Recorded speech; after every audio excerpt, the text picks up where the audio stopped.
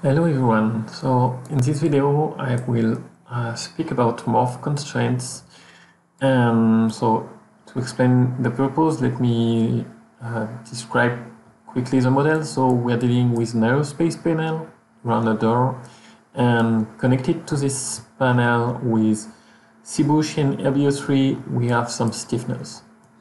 And you see that I have also a new target geometry and what I want to do is to project my FE mesh, uh, my panel FE mesh onto my new geometry, but I want the stiffener to follow with keeping the same dimensions. So I don't want to alter the dimensions of any of my stiffeners.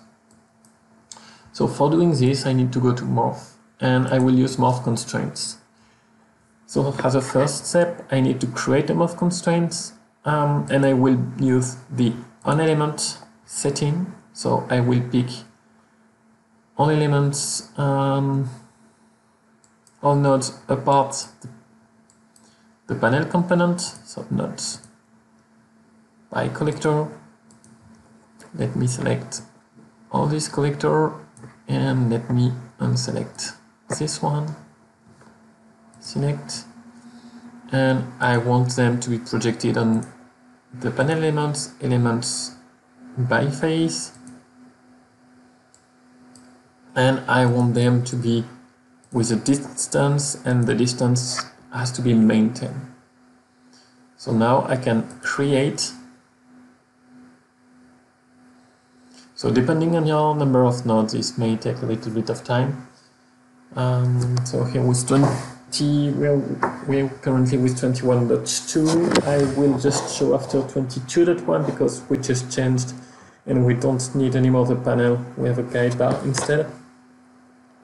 So let's wait for uh, the morph constraints to be done and then we'll move to the morphing part. It should be pretty close. You, you have this uh, message bar on the left showing you the progression. Okay, so here it has been done and uh, I will just hide the morph constraint in order to uh, not to overload the GUI. So now that I have done this, let me go to the free option. Let's say that I want to move a face, which is this face, and then I want as a target, I want this geometry. And then I can basically, and let me zoom in those to allocation and there will be some changes. Let me hit morph so on the left bottom left you see the process operation being mentioned uh, having constraints and prior we mapped the nodes to the geometry. So again the larger number of morph constraints the longer the process time but here it's something which is still reasonable. And we should get the result within a couple of seconds now. Uh, as we've reached more than 30,000 nodes being taken care about.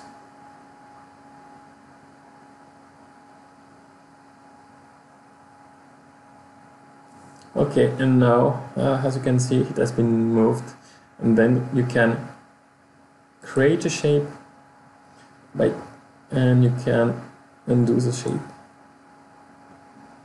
And now if you go to the shapes part you can preview again your shape. So previewing um, requires to, to repeat the steps but at least um, you will get them. It's mostly on the morph constraint that you use pen let's say most of the time for processing but you can then um, save your shape if needed and reapply it or you can just apply the morphing and um, it's okay.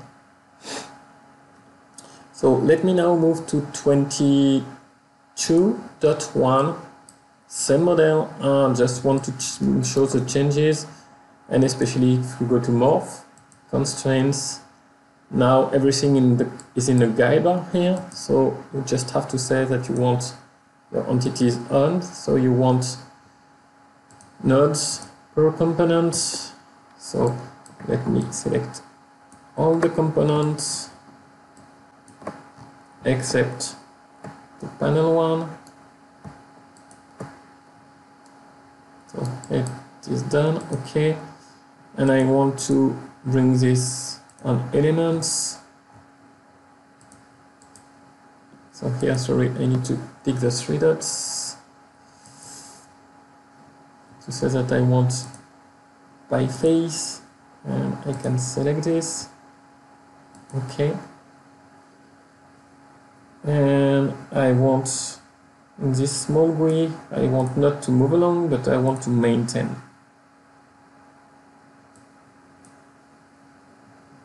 And then I can apply the constraint to the mesh.